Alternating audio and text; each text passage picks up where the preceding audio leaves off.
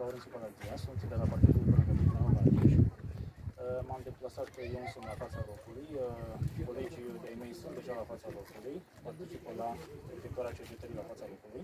Marian, mai În uh, completarea uh, informațiilor oficiale care v-au fost transmise, pot să vă confirm că este vorba de 5 victime din cadrul aceleași familii, doi Ok. bunici, uh, soț, soție, uh, copii, uh, doi dintre Imediat. copiii acestora și uh, un, uh, o nepoată.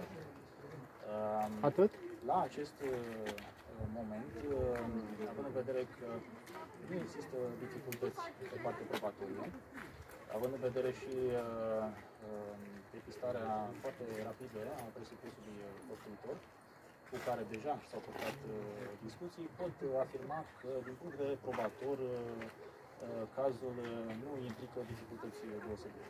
Domnule prim procuror, a existat vreun mobil al acestei crime? Uh, Este greu de spus la acest moment dacă a existat un motiv, un motiv al acestui crime. Silviu, Uh, eu sunt.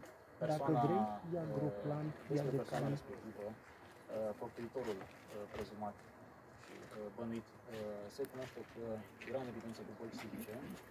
Uh, Nu putem ști în ce măsură bolile psihice i-au afectat uh, capacitatea de a gândi, de a discerna și de a avea reprezentarea faptelor uh, lui. Uh, Sunt lucruri care urmează să fie stabilite de anchetă. Uh, Nu avem uh, deocamdată detalii despre un uh, mobil. Ceea ce vă pot spune este că s-au purtat discuții cu făptuitorul.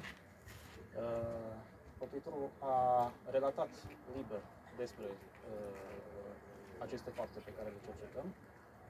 Urmează uh, să fie Silviu, și condus să rămâi la așa că te parchet, bagă pe să tine. finalizeze actele Te bagă și pe în, tine. uh, custodia organelor de poliție, urmează să fie condus la parchet pentru declarații, uh, bineînțeles cu respectarea tuturor drepturilor uh, procesuale. Ne puteți spune de